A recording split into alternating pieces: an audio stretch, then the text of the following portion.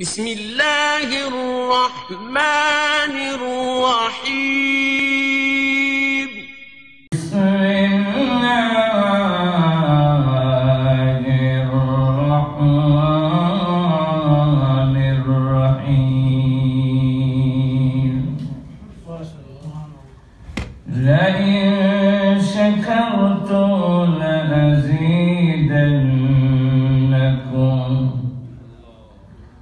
ولئن كفرتم إن عذابي لشديد. عن أبي هريرة رضي الله تعالى عنه قال قال رسول الله صلى الله عليه وسلم لرجل وهو يعظ اغتنم خمسا قبل خمس شبابك قبل حرمك وصحتك قبل سقمك وغناك قبل فقرك وفراغك قبل شغلك وحياتك قبل موتك صدق الله العظيم. وصدق رسوله النبي الكريم. صلى الله عليه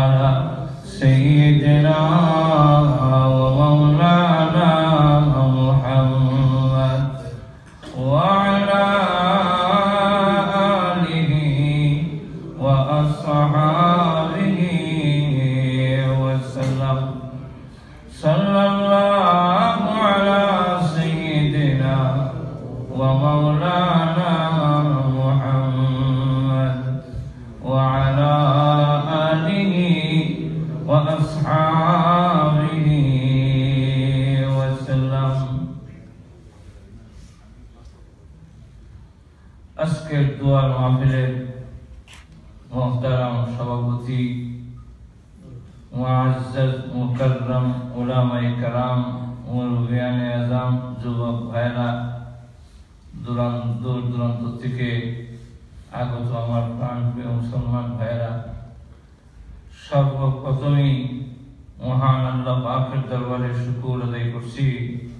এই জন্যে যে আপনাদেরকে এবং বিশেষ করে আমাকে আপনাদের সামনে হাজির হওয়ার মতো তৌফিক আল্লাহ দিয়েছেন, এই জন্য আল্লাহ পাকের দরবারে শুকুর আদায় করছি, আলহামদুলিল্লাহ। আমি কিন্তু আবার কোনোদিন আপনাদের সামনে আসতে পারব। এই বিশ্বাস আমার ছিল না। আমি যে আসলে অত বড় অসুস্থ আমি নিজে জানি। আমার, আমি তো হোমিওপ্যাথিক ওষুধ দইছিলাম যে হোমিওপ্যাথিক খাওয়া আর কিন্তু এখানে দুইজন ডাক্তার, তারা আমার পিছনে লাগল। আর মাহবুব ভাই ওনারা এমন ভাবে লাগল যে আমাদের চিকিৎসা না করে আমাদের কাছে গাইতে দিলেন। এক ডাক্তার নাকি বলছে যে ওনাকে বাংলাদেশে যাইতে দিও না, কারণ বাংলাদেশে যদি যায়, উনি আর ফেরত আসবেন না। এই জন্যে আমি তো আমি জানি না। তখন আমাকে দুজন, এক প্রথমে এক ডাক্তার উনি যে বলছেন ডাক্তার হুমায়ুন কবির আমার ইউটিউবের ওয়ার্ড শুনলে তাও বলতো। জীবনে দেখা উনি শুনছেন তো যে দশ হাজার ডলার উনি নিজে দিচ্ছেন মাদ্রাসার জন্য দিচ্ছেন দুই হাজার ডলার, চিকিৎসার জন্য দিচ্ছেন দশ হাজার ডলার। আর আমার সিটি স্ক্যান এবং সমস্ত পরীক্ষা নিরীক্ষা ওনার নিজ খরচে করেছে। তো পরীক্ষা করে কইলো যে আপনার গালের মধ্যে একটা টিউমার, তিন কিতাব হলো তিন মিটার, এটা বড় হয়ে গেছে। তিন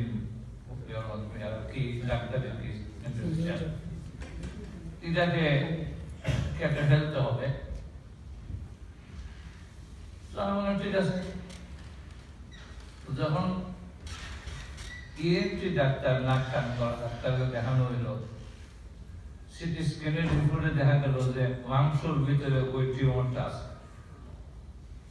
সিটি স্ক্যান ইএনটি ডাক্তার দেখে বলে, ঠিক আছে, এটা আমি অপারেশন করতে পারব। আর ডাক্তার আব্দুল মালিক, যিনি আমেরিকাতে এবং রাশিয়া পিএইচডি করছেন, যদিও বাংলাদেশি ডাক্তার, উনি হসপিটাল আছেন। উনিও সার্বক্ষণিক ফিজিওথেরাপি রয়েছে আমার কেবল চিকিৎসাটা করানো যায় অথচ জীবনে দেখা নাই। এই প্রথম ভাবে দেখা। ওনারা ওয়াজের ভক্ত আর ওনারা ডাক্তাররা করছে কিনা হসপিটালের কোন ডাক্তার ওয়াজ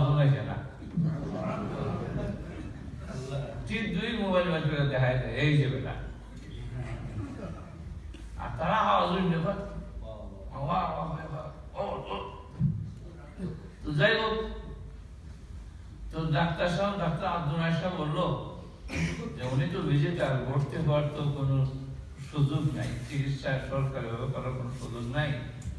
তা আমার হসপিটালে এমার্জেন্সিতে যেভাবে হোক আমি ভর্তি করব।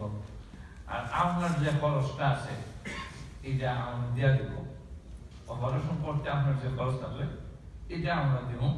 আর হসপিটালের বিষয়টা আমার জিম্মা আচ্ছা ঠিক আছে। ওই যে করছে কি? খুব কৌশলে আমার আপনি কোয়েন যে আমার এখানে ব্যথা। আমি তো ব্যাংক খুব চিকিৎসা করেছিলাম এই দিক দিয়ে। এগুলো একটা ভাব ধরে নেন আমি বলছি, ঠিক আছে ভাব ধরুন ভাব বলে নিয়ে আমার ঢুকায় নিরীক্ষা হয়। এবার দিন তার কোনো রূপ নাই। ডাক্তার সাহেব উনি টেলিফোন করে আর ডাক্তারের কইল যে ওনার ভর্তি করো। তখন উনি লেখছে যে ডাক্তার আব্দুল মালিকের অনুরোধে তাকে ভর্তি করা হলো এখন সব পরীক্ষার তখন ঢুকছে বলে কইলাম যে তখন কইছে, আপনার জালুক আছে সব বলে। তখন ব্যাংকক থেকে দৌড়া সবকিছু বললাম, তারা চিকিৎসা নিকিৎসা করে শুক্রবার সকালে আমরা অপারেশন করবে। বৃহস্পতিবারের তিনটার সময় তারা একটা পরীক্ষা করল, এটা ক্যাশ স্ক্যান করছে। আমরা কোন দেশে এটা ব্যাট স্ক্যান কোন দেশে ক্যাশ স্ক্যান তো এটা কইরা পরীক্ষা করে কইলো, ডাক্তারের সময় জানাইলো যে আমি যে কইছিলাম অপারেশন করতাম, পারতাম না। কেন? কয়, যে টিউমারটা, এটা হার্ট দিয়ে ঢুকে গেছে। সুতরাং আমি এটা ডাক্তারও না, আর এই অস্ত্র আমাদের হসপিটালে। ওই যখন ইউনিভার্সিটি অফ পেনসিলভেনিয়া সেখানে সেখানে তো কোনো ডাক্তার চিনি লাইন চিনি কেমন আমরা তো ডাক্তার আব্দুল মালিক সব বলল তোমরা হসপিটাল থেকে একটা ডেট আমাদের ওই হসপিটাল থেকে একটা ডেট দেয় তো যাই হোক ক্যানেডি নামে এক ডাক্তার, একজন নমান দুই ডাক্তারের কাছে আমরা একটা ডেট দিয়ে দিল, প্রথম কেনেডি কেনেডির কাছে যাওয়ার পরে বলল হ্যাঁ এই ডাক্তার আমি আমি এটা চিকিৎসা করি, আমরা এটার উপরে আমরা স্পেশালিস্ট সেটা কি?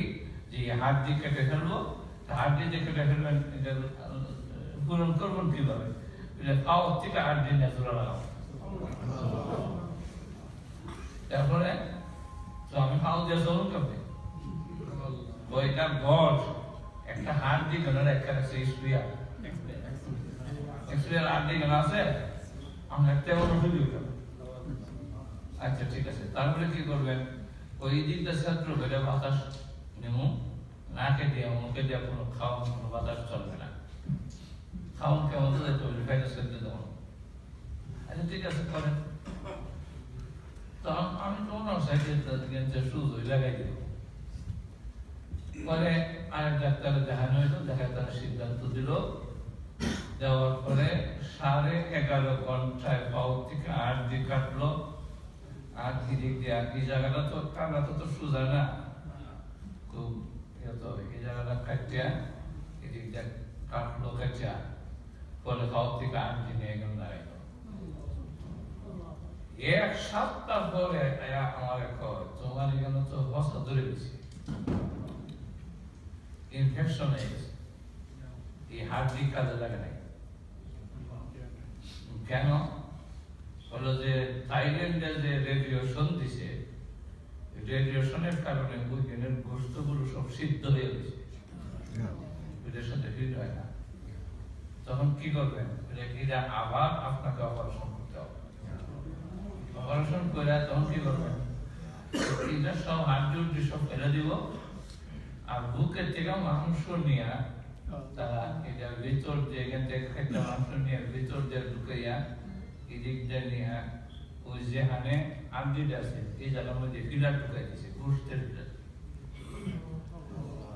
এইভাবে দিয়ে তখন সময় অবস্থা তো খুবই খারাপ। এর মধ্যে একটা অ্যান্টিবায়োটিক ওষুধ দিছে যেটা রিয়াকশন রিয়াকশন করে কিডনি ও এফেক্ট তখন আবার আর দিনে এক ডাক্তার হইল তোমার কিডনি অপারেশন করতে হবে। আলহামদুলিল্লাহ যা করবার সব করে এখন আলহামদুলিল্লাহ দেখা গেল কিডনি অপারেশন লাগছে না আলহামদুলিল্লাহ এই পর্যন্ত আসছি আপনাদের সামনে। আসলে আজকে আসার উদ্দেশ্য হইল যে আপনারা যেভাবে সহযোগিতা মহব্বত করছেন, মায়া করছেন, এটার কৃতজ্ঞতা প্রকাশ করার জন্য ডাইরেক্ট যেতাম আসলাম। আমার মুম্বাই সহ আমরা এদিকে। তো আমরা ভাবলাম যে না, এখানে লন্ডন ওনাদেরকে একটু দেখা যায়, জীবনে হয়তো বলা যায় না, হয়তো আর নাও আসতে পারি। এখন তারা বলল যে সম্পূর্ণ ক্যান্সার যা আছে সব সাফ করে দিছে। কিন্তু সম্ভাবনা আছে কোনো জীবাণু যদি দেখা থাকে, এর জন্য রেডিয়েশন এবং কেমোথেরাপি দিতে হবে। তো ছয় সপ্তাহ আরও দিতে হবে। তো ওনারাই বললেন যে ছয় সপ্তাহে এই দেশও দিবি না করে এরা যে অপারেশন করছে, এই অপারেশন বাংলাদেশ পারবে না থাইল্যান্ড হবে না। এই জন্য আমরা করে দিলাম। রেডিয়েশন যেটা এবং কেমোথেরাপি এটা খুব ইজি সব দেশে করা যায়। এবং তারা যে কেউ খেতে দিচ্ছে একটা বাংলাদেশে দেওয়া দেন, তাহলে আমার আত্মীয় স্বজন আপনাকে লুকাপটা করতে আপনাকে আশা করতে সুবিধা হবে। এই জন্য বাকিটা আমার চিকিৎসা করতে হবে। আমাদের কাছে দোয়া চাই। আর দোয়া নেওয়ার জন্য, আসলে দোয়া দেওয়ার জন্য না, দোয়া দেব।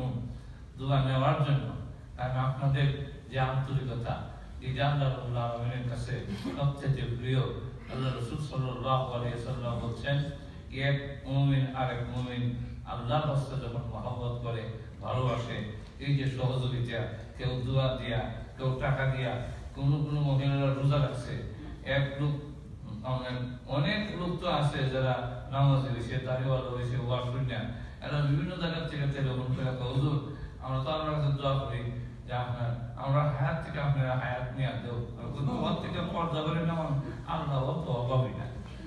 এরপরে কিন্তু তার অবস্থাটা বুঝেছে এরপরে কেউ তিনটা চারটা পাঁচটা সাতটা রোজা রেখে বিভিন্নভাবে যে দোয়া করছেন। আল্লাহ রসুল বলেন ইয়াকে অন্য এইভাবে মহব্বত করলে কেমতের মাঠে আল্লাহ সেন নিচে তাদেরকে লাগাবে এই জন্য আল্লাহ রাব্বুল আলামিন এই যে দূর দূরান্ত থেকে ব্রাহ্মণ থেকে আইছেন চিন্তা করছেন বিষয়টা। ব্রাহ্মণ থেকে আইছেন বিভিন্ন দূর থেকে আইছেন।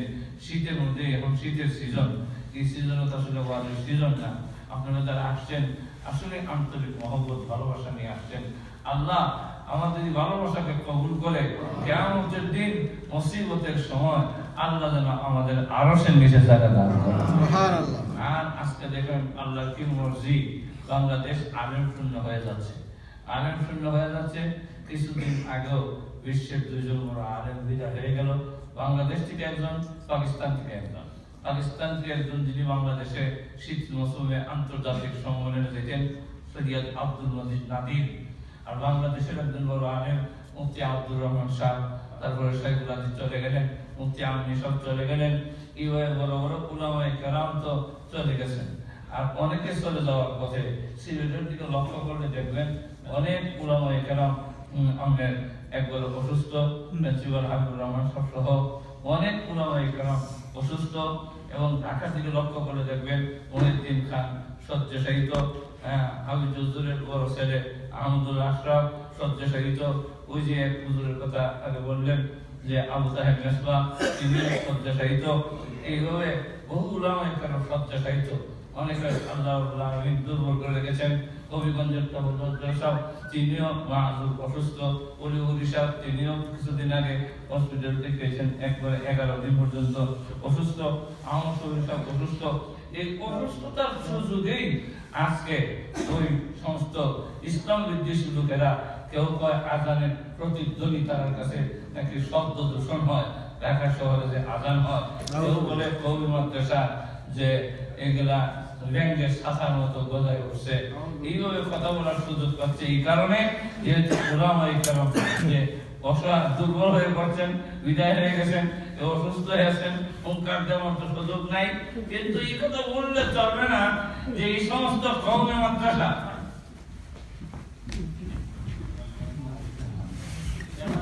খালেদ ভাই